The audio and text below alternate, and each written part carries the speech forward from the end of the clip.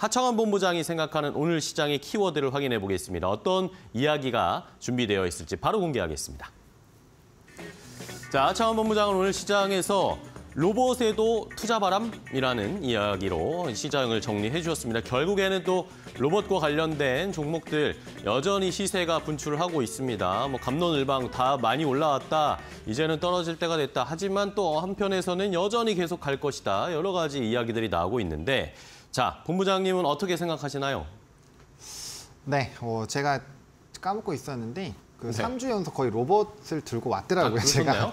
네, 근데 너무 우려먹 보시는데. 네, 사골처럼 우려먹고 네. 있기는 한데 사실 이제 앞서서 잘 얘기해 주신 것처럼 지금 로봇에 대해서 너무 많이 올랐기 때문에 이제 더 이상은 좀 너무 과열되어 있다 이런 얘기도 많이 있는데 네. 지금 추가적으로 대기업의 인수 얘기가 나오면서 어 이제 후보군으로 올라온 종목군들이 있죠. 뭐 대표적으로 뉴로메카라든지 이런 종목군들이 있다 보니까 제가 봤을 때는 이 인수전에 대한 부분들이 다 끝나지 않는다라고 한다면 전 충분히 좀 상승력이 유지가 되지 않을까라고 보고 있거든요.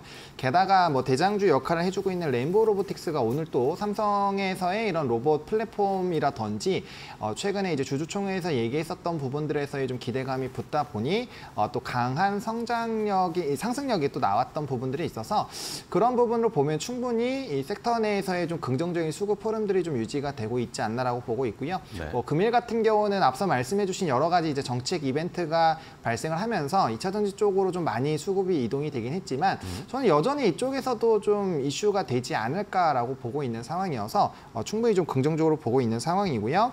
그리고 이제 지분 투자에 대한 이 지금 어떻게 보면 소문이 돌고 있는 건데 네. 추가적으로 만약에 이제 지분 인수를 한다라는 이슈들이 부각이 되면 기존에 이제 대기업과 연관이 되어 있는 기업들이라든지 어, 지금까지 계속적으로 뭐 현대라든지 삼성가에서의 이런 지분 투자를 하고 있는 기업들은 추가적인 시세가 분출이 될 가능성이 굉장히 높다라고 보고 있고 이 지분 투자로서 결국에는 이 시장의 먹거리 자체가 확대된다라는 관점으로 본다면 전 충분히 뭐 기대를 해보셔도 괜찮지 않을까 생각을 하고 있습니다. 네, 좋습니다.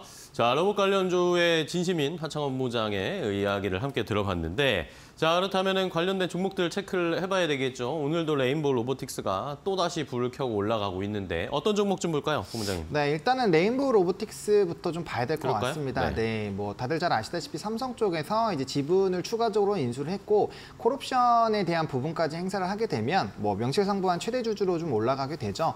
게다가 이제 이 좀 선제적으로 로봇 시장을 대응하겠다라는 기사들이 나오면서 오늘 또 좀 강력한 상승 흐름들이 나왔는데 장중에는 또 10%가 넘게 좀 상승력이 나왔습니다. 어, 특히나 이제 뭐 레온보 로보틱스라든지 뉴로메카 같은 경우는 이 감속기를 또 자체 개발하는 부분에 대한 이슈도 있었죠. 그래서 레인보우 로보틱스는 그 부분이 완료가 됐고 어, 뉴로메카는 이제 12월 달에 아마 예정이 완성이 될 것으로 보여지는데 뭐 기술력에다가 추가적으로 감속기까지 붙어줄 수 있는 상황이어서 어, 좀 충분히 기대가 되고 있는 상황이고요.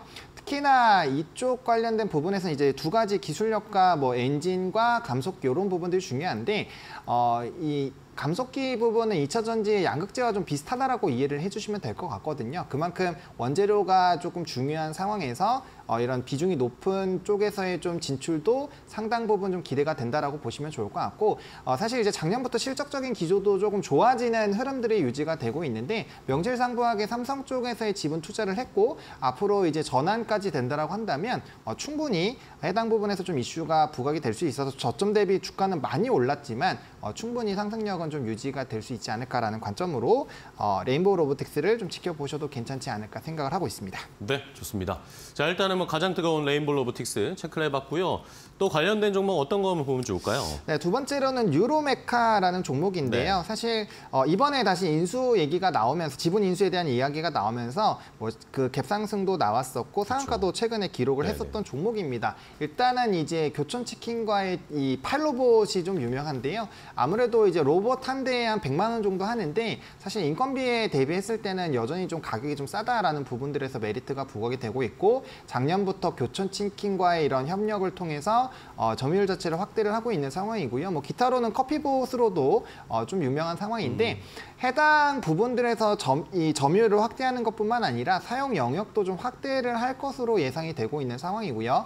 어, 실적적인 부분으로 봤을 때 매출단에서는 좀 큰 폭의 성장이 나왔는데 영업이익 영업이익단과 이제 순이익단에서는 좀 적자, 이 마이너스가 나왔거든요. 그 이제 뭐 많은 투자라든지 단기적인 좀 비용이 반영이 됐는데 앞으로 이러한 흐름들이 유지가 된다라고 한다면 실적적에서도 좀 유의미하게 어, 올라갈 수 있지 않을까라는 기대감이 나타나고 있는 상황이고 특히나 이 기업이 제가 또 주목하고 있는 건 2차 전지 쪽에서 배터리 네. 화재 소화 시스템을 개발을 했거든요. 이제 급속 냉각을 해서 만약에 불 같은 게 붙어졌을 때 네. 어, 이 해당 부분을 조금 어, 빠르게 회복할 수 있는 부분인데 이게 로봇에 일단 탑재를 시킬 거고요. 만약에 이제 2차 전지 쪽에서도 사실 활용도가 높을 것으로 예상을 하고 있기 때문에 네. 추가적인 상승 여력으로도 좀 기대를 해볼 만한 어, 포인트이지 않나라고 좀 정리를 드리겠습니다. 네, 좋습니다.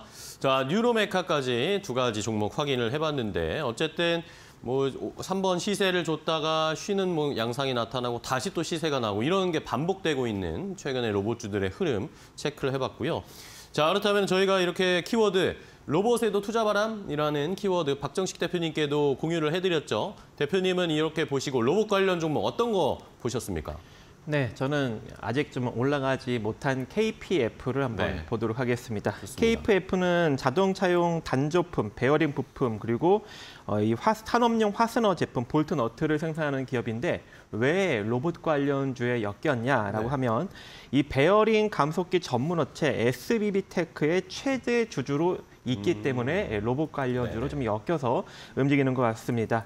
일단 SBB테크는 최근에 좀 상장에 대해서 급등력이 많이 나오고 있는데 이 KPF는 일단 상대적으로 지금 덜 상승력이 나오고 매출과 영업이익이 매년 30% 이상 현재 급등력이 2년 연속 나오고 있음에도 불구하고 주가가 바닥권에서 쉽사리 움직이지 못하고 있습니다. 그래서 현재 시점에서 우리가 한번 기술적으로 접근해 볼 필요성이 있을 것 같고 또 이 최대 주주로 있는 SBB테크 같은 경우에는 국내 최초로 세라믹 볼 베어링을 국산화를 시작을 하였고 탈 일본 핵심 소부장 제품인 로봇용 감속기를 순수 국내 기술로 국내 최초로 국산화 시켰습니다. 그래서 어, 로보 드라이브로 상품화한 뒤 이 전문화된 감속기 모듈화 제품까지 사업 영역을 확장하고 있어서 나중에 이제 반도체 쪽이나 이제 디스플레이 쪽에 들어가는 이 로봇들의 어떤 제품 이제 이런 감속기 제품을 지속적으로 좀 납입을 하면서 생산을 해낼 수 있는 그런 성장 가능성이 계속적으로 점쳐지고 있어서 이 KPF도 이제 그와 관련해서 좀 상승력이 추후에 나타나지 않을까라고 생각을 합니다.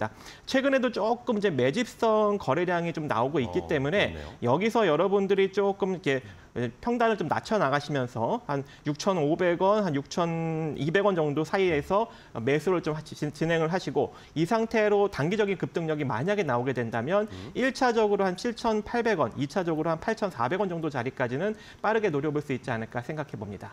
네, 좋습니다.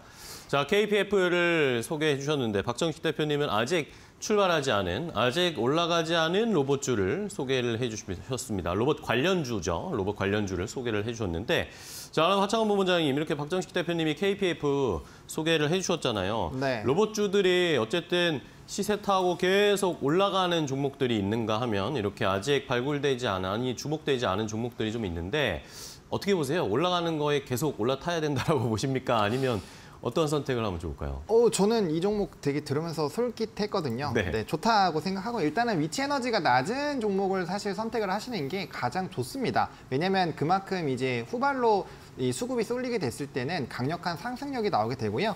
어, 최근에 이제 인탑스라는 종목이 한번 좀 급등이 나왔거든요. 이 종목도 네. 정말 부각이 안 되다가 이게 이제 어떻게 보면 로봇계의 TSMC라고 보시면 그냥 어, 어, 네. 생각을 해보셔도 되는데, 그러니까 그만큼 삼성 쪽에 대한 이제 생산 라인 생산할 것으로 좀 이제 예상이 되면서 어, 주가에 좀 위치 에너지 강력하게 나왔거든요. 근데 이것도 한 3거래일 전까지만 하더라도 급등이 안 나왔어요. 그래서 충분히 이렇게 급등력이 최근에 안 나온 종목 에서 또 수급 쏠림에 따른 상승력이 나와서 말씀 주신 것처럼 매집의 흐름들도 좀 보이고 해서 좀 긍정적으로 보셔도 저는 괜찮지 않나 생각을 하고 있습니다. 네, 알겠습니다.